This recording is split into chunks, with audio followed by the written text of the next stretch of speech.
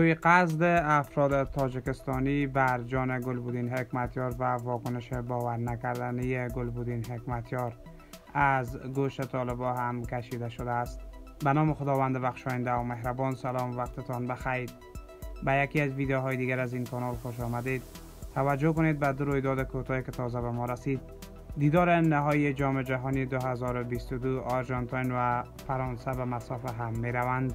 مسابقه پایانی جام جهانی سال 2022 قرار است با قضاوت شیمون مارسینیاک داور لهستانی در روز ملی قطر در ورزشگاه لویسیل در شهر لویسیل قطر برگزار شود. آرژانتین و فرانسه با هم برای کسب عنوان قهرمانی به رقابت می پردازند. فرانسه و آرژانتین پیش از این دو بار عنوان قهرمانی در جام جهانی را به دست آوردند و برای کسب سومین جام تلاش می کنند. فرانسه آخرین قهرمانی خود در جام جهانی را در دوره گذشته با پیروزی برابر کرواسی تجربه کرد و آرژانتین نیز آخرین بار در سال 1986 با کاپیتانی دیگو مارادونا اسطوره فوتبال جهان قهرمان شد ارجنتاین همچنان در سال 2014 نیز به فینال راه یافت اما در مقابل آلمان شکست خورد. گاز گرفتگی باز هم فاجعه آفرید. باشندگان پغمان کابل روز جمعه 25 قوز جسدهای تازه عروس و داماد را به خاک سپردند.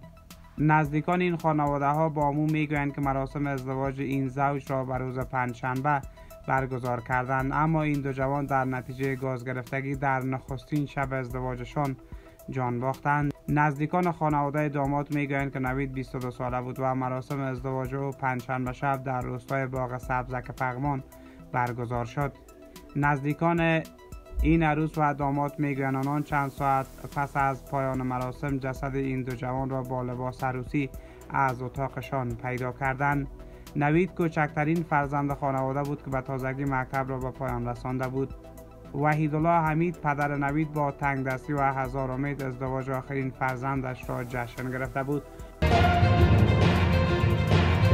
حکمتیار تاجکستان را به دست داشتن در ناامنی های اخیر افغانستان متهم کرد. اطلس به رسمی نگارت گلبودین حکمتیار رهبر حزب اسلامی افغانستان ادعا کرد حملات انتحاری اخیر در افغانستان توسط یک گروه تاجکستانی انجام شده است. به گزارش خبرگزاری اطلس حکمتیار در خطبه های نماز جمعه به طور مشخص گفت حملات انتحاری مسجد حزب اسلامی سفارت پاکستان و حمله به هتل محل اقامت چینی ها در کابل از سوی یک گروه به رهبری یک تاجکستانی انجام شده است. رهبر حزب اسلامی افغانستان چند پیش نیز مدعی شده بود. از تلاش های صورت گرفته از اجساد عوامل حمله به وی در مسجد حزب اسلامی اسناد به دست آمده که نشان می‌دهد مهاجمین از اعضای داعش و دارای تابعیت تاجکستان بودند. مقامات تاجکستانی تاکنون در خصوص اتهامات آقای حکمتیار موضع نگرفتند. رهبر حزب اسلامی می افزاید. سندهایی که از حمله کنندگان بر مسجد این حزب به دست آمده نشان می‌دهد که هر دو حمله کننده تاجکستانی بودند و چهار ماه پیش از راه آذربایجان ترکیه و ایران به افغانستان آمده بودند. آقای حکمتیار گفت که همه این موارد را با مسئولان طالبان مطرح کرده و در انتظار پاسخ نهایی است و این تاکید میورزد. پس از آن که طالبان در این باره به او پاسخ بگویند شورای مرکزی حزب اسلامی را فرا خوانده و تصمیم خواهد گرفت که با مسئولان حمله های یک ماه در کابل و سمنگان چگونه حسابی کند.